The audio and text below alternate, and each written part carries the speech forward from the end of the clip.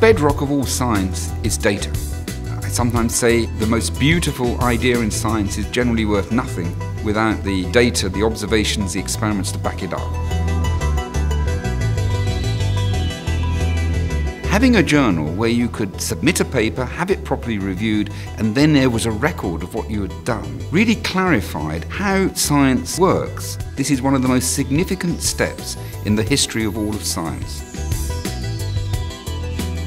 I think one of the most important things the Royal Society ever did, and it did it right at its beginning, was to invent the scientific journal with this journal, Philosophical Transactions, publishing articles describing the work. They could get it out there, they'd um, published it, they were owners of it, and there was a date on it, so they got priority. Still very important now to have this Exactly. Isn't that interesting? That's basically the same thing as we have now. All the thousands, tens of thousands of scientific journals, they publish regularly, they're dated, they're peer reviewed. It's all exactly the same model. When you're competing for a result, you want to be the one that got it first, and that means get it in the journal first. So it still holds a lot of importance in terms of motivation to getting out good, robust and results. And it's exactly fast. the same in my field too.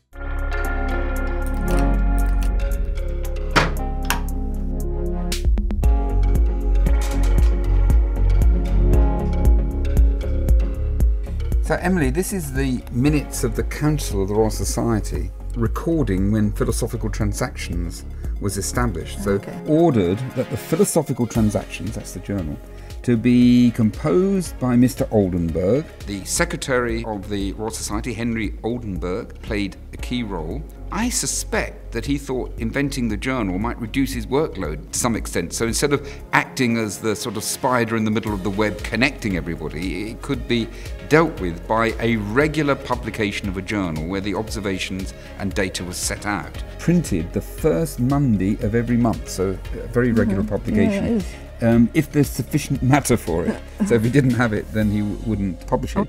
And that the track be licensed by the Council of the Society. In other words, it's acceptable for publication. Mm-hmm. Mm. What's in there would be peer reviewed. That was the origin, really, yeah. of peer review.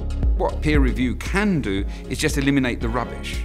Um, but if you're going for a high profile journal, then a peer reviewer will be making judgments as to how interesting it is. And sometimes um, they, they don't see that it's interesting, even if the science is quite good.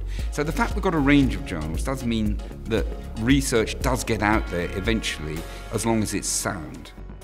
So this is the first um, Philosophical Transactions, Volume 1. Very exciting. So this is the very first pages of the very first journal. It was the beginning of peer review because council had to look at it, but it took a while for the whole process to get in place. Philosophical transactions, undertaking studies and labours, labours. of the ingenious in many considerable parts of the world. It's great language, anyway. We're going through a revolution now in how we publish, and we will see different ways of publishing and open access and electronic publishing, and all of these things are interesting and will change the way that we do things but fundamentally it's based on the principles that we use to establish philosophical transactions, the journal invented by the Royal Society in 1665.